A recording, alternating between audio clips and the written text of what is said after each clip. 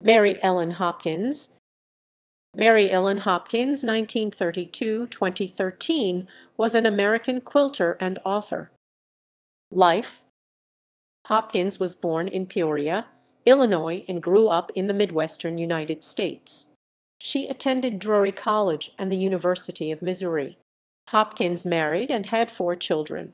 In 1963 she moved with her family to Santa Monica, California. She worked from home making men's shirts. Quilting In 1977 Hopkins opened a quilt shop in Santa Monica called Crazy Ladies and Friends. Hopkins' short book, The Double Wedding Ring Book, was released in 1981 and her first full-length book, It's Okay If You Sit on My Quilt book, in 1982. She founded a company, Me Publishing First Printing, to publish the latter. Classes offered at her shop developed into invitations to give lectures.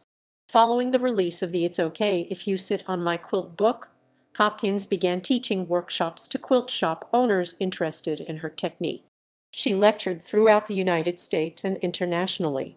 Hopkins sold her shop in the late 1990s, continuing to give lectures until 2010.